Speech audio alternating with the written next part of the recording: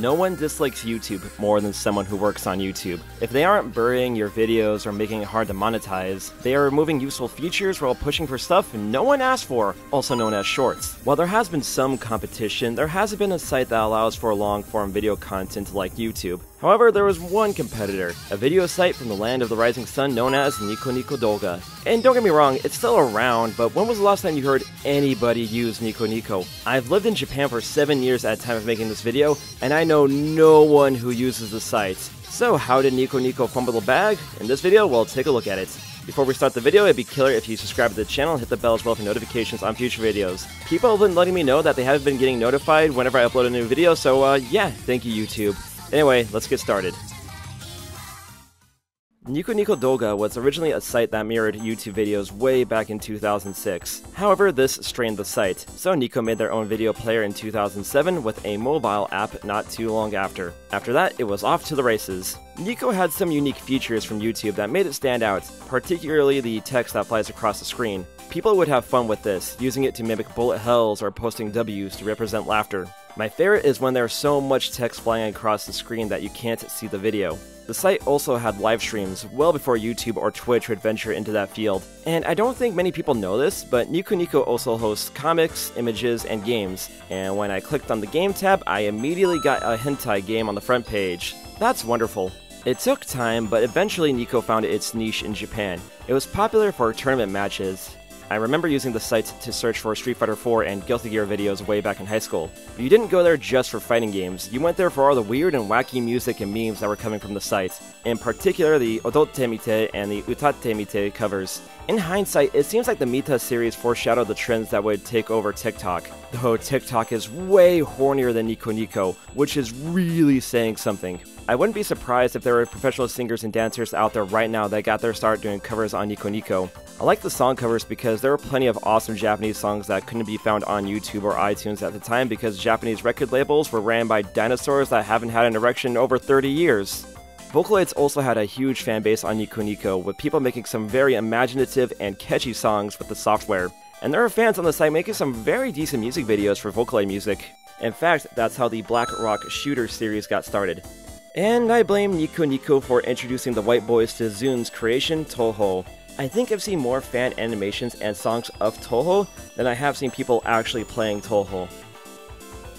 Look, if you want to know who's going to be the most annoying, the dumbest, the horniest, and potentially racist person on your timelines, just look for a freaking Touhou avatar. I think Touhou fans are number 5 on the online degeneracy tier list. Like, number 1 has to be the Astolfo fans, well, Fate fans in general. Number 2 would be those Pokemon fans. Number 3 would be those Sonic fans. And number 4 would be the Hololive stands. That's the, uh, the tier list of online degeneracy. Now let's take a trip down memory lane to the mid to late 2000s where I had bad acne and couldn't talk to a woman to save my life. Basically, every anime meme from the mid 2000s originated from Nico Nico. Just about any anime or game series got their own version of Caramelldansen. Can't forget Dancho Dan Dancho Dancho. Let's go to convenience store. Whatever the hell this video is.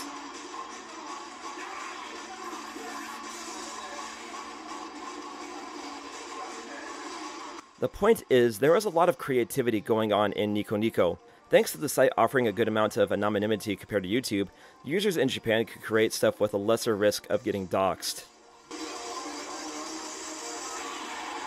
You're probably thinking to yourself, wow, the site seems amazing, but uh, what's the catch? And it turns out, there's many of them.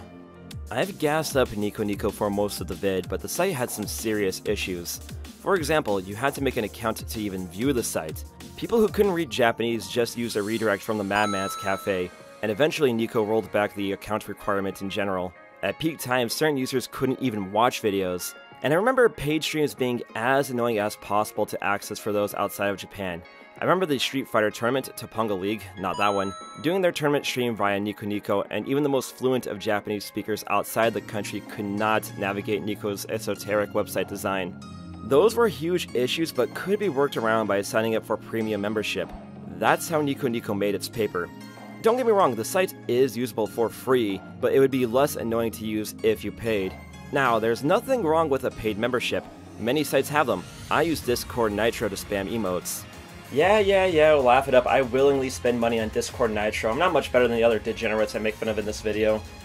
paid memberships need to feel like luxuries and bonuses to the site, not necessities. YouTube Premium gets rid of ads, lets you download videos, gives access to YouTube Music, all kinds of stuff. But YouTube is very much usable for free users. Nico's premium service feels like it was patching up a basic functionality of a site. Plus, you need premium to uncap your uploads. That could be a death sentence for aspiring content creators. My parents, er, I don't pay for Netflix and Disney Plus just for me to make the shows. Though I think it would have made for a good Spike Spiegel in the live-action Cowboy Bebop show. The show would not have been good regardless, but uh, I could have been immortalized as Spike Spiegel. So you're probably wondering, did Nico Nico ever try to expand outside Japan? And they did, and here's how they messed it up. It was clear there were plans to expand, but they fumbled the bag like me whenever I talked to a girl at the bar. The English site appeared with no fanfare and without much content on it for non-Japanese speakers. Shame, as when the English site dropped in 2012, that was right before the infamous adpocalypse of 2013. Had Nico played their cards right, they could have easily courted over many of the YouTubers who are getting hosed down and be like, hey, you guys want to make money off your vids without getting hosed by copyright?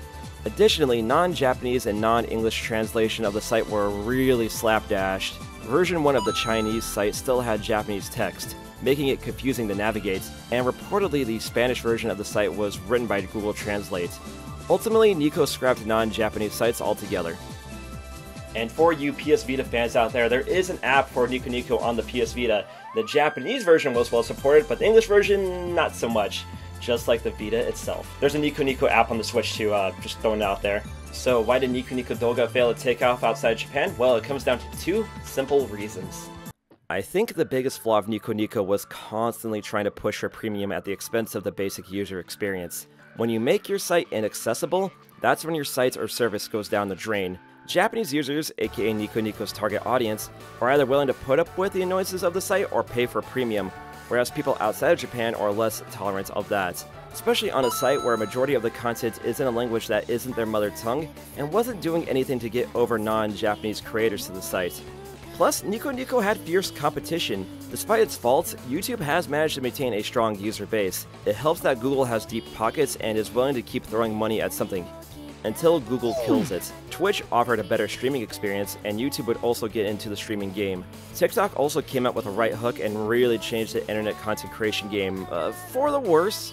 Twitter provided a space where people can easily share and communicate with others. I use past tense here in case Elon kills the site. Finally, the rise of the VTuber and Hololive also gave content creators a way to stay anonymous. There, I mentioned Hololive twice in a single video. That one goes out for you, Artrix, you bloody degenerate.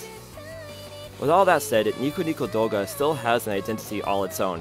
The users of the site helped create some long-lasting memes and music that I don't think we would have gotten otherwise. There's a tight-knit community on the site who likes the site, for the site, and the people who are on there. It's like people who use ResetEra. It might not be the biggest site, but the community aspect will keep it alive for many years to come.